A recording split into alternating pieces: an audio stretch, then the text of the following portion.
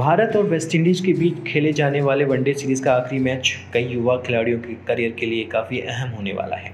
इस सीरीज़ के बाद दोनों टीमों के बीच टी ट्वेंटी सीरीज़ खेली जानी है। सीरीज़ में टीम के सीनियर खिलाड़ी स्क्वाड का हिस्सा होंगे। टी ट्वेंटी सीरीज़ में विस्फोटक बल्लेबाज ऋषभ पंत भी खेलते हुए नज़र आएँगे। ऐसे में वनडे सीरीज़ का आखिरी मैच एक बल्लेबाज के लिए अपनी छाप छोड़ने का आखिरी मौका साबित हो सकता है। विकेट कीपर बल्लेबाज ऋषभ पंत हमेशा से टीम इंडिया की पहली पसंद रहे हैं। वो टी ट्वेंटी सीरीज़ में खेलते हुए दिखाई आपको देने वाले हैं। वहीं वनडे सीरीज़ में बतौर विकेट कीपर बल्लेबाज संजू सैमसन टीम में खेल रहे हैं। सैमसन अभी तक टीम इंडिया में अपनी छाप नहीं छोड़ सके हैं। लगातार टीम का हिस्सा भी नहीं बन पाते हैं। ऐसे में संजू को आने वाले समय में टीम इंडिया का हिस्सा बनना है तो इस सीरीज़ के आखिरी मैच में एक बड़ी पारी ज़रूर खेलनी होगी। टीम में संजू सैमसन और ईशान किशन, बतौर विकेट कीपर बल्लेबाज शामिल हैं।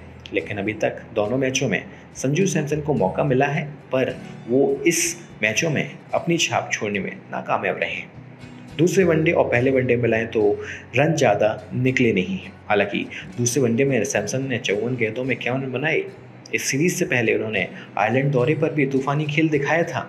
उन्होंने ओपनिंग करते हुए आयरलैंड में शानदार सतहत्तर रनों की पारी खेली। सैमसंग को टीम इंडिया में काफ़ी कम मौके मिले ऐसे में सीरीज़ के आखिरी मैच में संजू से फैंस को एक बड़ी पारी की उम्मीद ज़रूर होगी।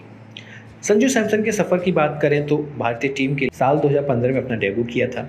उन्होंने भारत के लिए 14 टी ट्वेंटी और तीन वनडे मैच ही खेले हैं।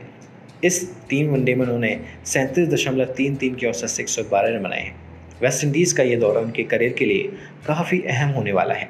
वे हाल ही में इंग्लैंड के खिलाफ टी ट्वेंटी पहले मैच में टीम में शामिल किए गए थे, लेकिन उन्हें शानदार फॉर्म में होने के बाद भी रोहित शर्मा ने टीम में शामिल नहीं किया था।